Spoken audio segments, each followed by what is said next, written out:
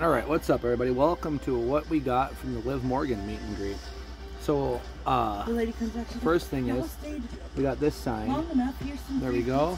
There was two pieces plus five. So Mom got that sign for. Kevin and Liv. That was nice. And I took two, one for This. And then I gave the rest to Zoe. And you know, she got the girls and, And then- stuff. Something like that. we got this. And then Told y'all I was gonna get it signed sometime.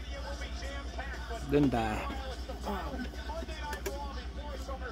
oh, it's so beautiful. And then we went there. Yeah. don't know exactly what And then uh, but we got this of them that bag, It's flush and it's- cricket towel,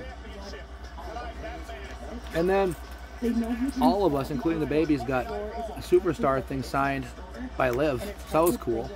All right, I hope you guys enjoyed this little video. Like, comment, subscribe, turn those notification bells on. The other time I upload. Love you guys. See you guys in the next video.